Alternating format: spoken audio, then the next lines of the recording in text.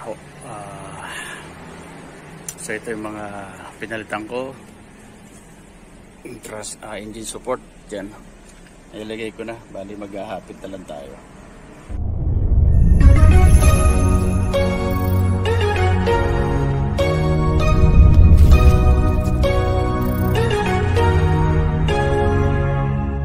So medyo mahirap kasi V8 engine, medyo malaki.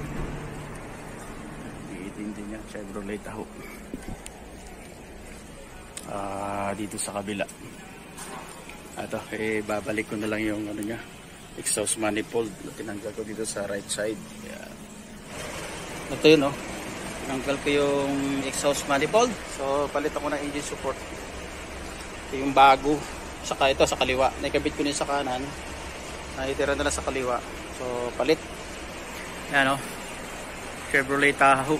Chevrolet Tahoe. Hindi siya, ano, V8 engine. At talaga namang pahirapan mga kababayan. Tinanggal ko. Exhaust manifold para lang may angat siya. Tapos, ah, tinukurang ko siya dun sa may transmit, ayan sa may transmission na yan, sa may oil pan. So, angat siya ng konti. Ah, talagang napakahirap. Dalawa kasi wala yung exhaust manifold. Pero doon sa kabila, yung isa ah, dito sa left side at magbabaklas pa ako ng gulong dito. Then sunod na ako sa ilalim ha ito yan. Yun. So yun ang isang engine support sa kaliwa. Yan ang nadadamage lagi ay yung kaliwa so kaliwang engine support yan. Ayan o, sira na siya talaga. Alog na. Sira. To okay naman siya yung right side. Kaya lang pinagsabay na natin ang pagkapalit. Mas maganda yung sabay na para isang trabaho na lang.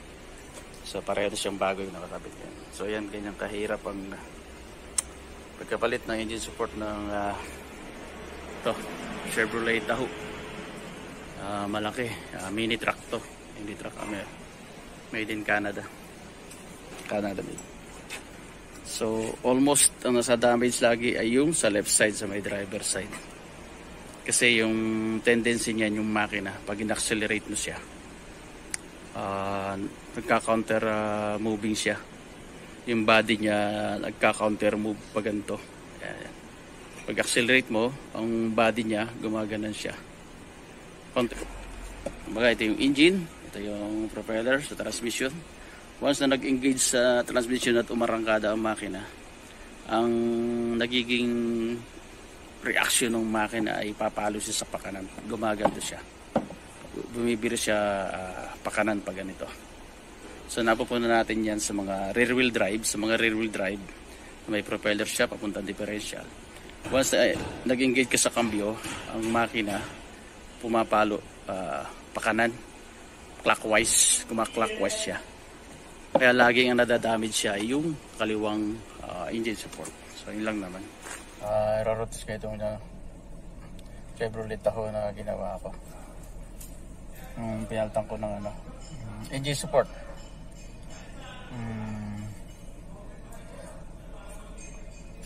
okay na siya. Wala na siyang saltak pagka in-accelerate mo siya. Dati kasi pag sira yung kaliwa, pag accelerate mo sa kanya, tak, diba ganun siya. Lalo pag naka-engage ang gear. So ngayon okay na. Medyo mahirap ang trabaho. Uh, mabigat. Uh, ito ay light truck. Chevrolet Tahoe GMC Suburban. It's all light truck. So okay na. Rorotes ko na lang to. Ayan maandar na tayo. Marami naman siyang gasolina. So okay. So babay na. Yun lang. Yung pagkapalit natin ng ano uh, support ng Chevrolet Tahoe na ito. Hindi ko na na-video lahat kasi inaapura ito eh, ng motor